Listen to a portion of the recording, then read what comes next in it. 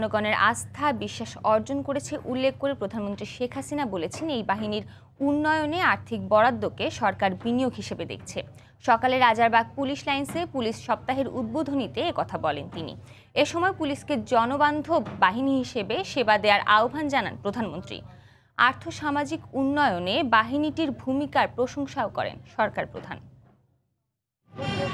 Police সপ্তাহ দু হাজার বিশ উপলক্ষে রোববার সকালে রাজধানীর রাজারবাগ পুলিশ লাইন্সে আসেন প্রধানমন্ত্রী শেখ হাসিনা। বাহিনী প্রধানকে সঙ্গে নিয়ে প্যারেড কারে তিনি পরিদর্শন করেন বাহিনীর বিভিন্ন বিভাগের সুসজ্জিত দল।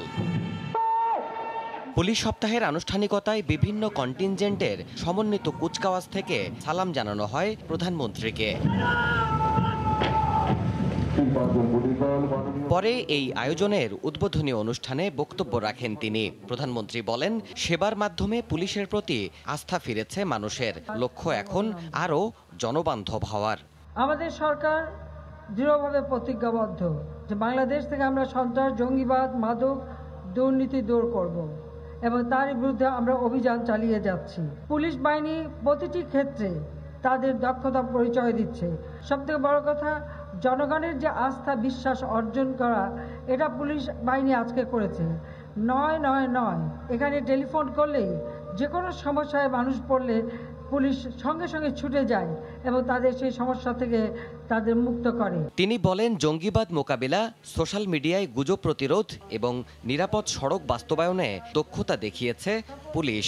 আগামীর বাংলাদেশের জন্য আরও আধুনিক করে গড়ে তোলার উদ্যোগ নেওয়া হয়েছে এই বাহিনীকে।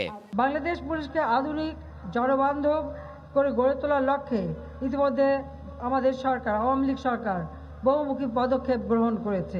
আইন শৃঙ্খলা খাতে বদ্ধকৃত অর্থকে আমরা ঠিক ব্যয় হিসেবে নেই না।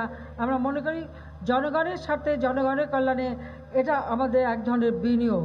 কাজে সেদিকে লক্ষ্য রেখেই আমরা এই পুলিশ বাহিনীকে আধুনিক সাজে সজ্জিত করে এবং আধুনিক প্রশিক্ষণের ব্যবস্থা করে এবং জনগণের সেবা যাতে নিশ্চিত করতে পারে, তার জন্য যথাযথ পদক্ষেপ আমরা নিয়ে যাচ্ছি। পুলিশ বাহিনীকে জনগণের পুলিশ হিসেবেই নিজেদেরকে প্রতিষ্ঠিত করতে হবে।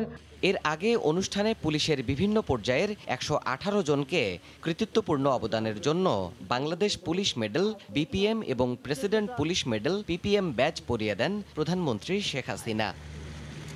দেবাশিস রায় সময় সংবাদ ঢাকা।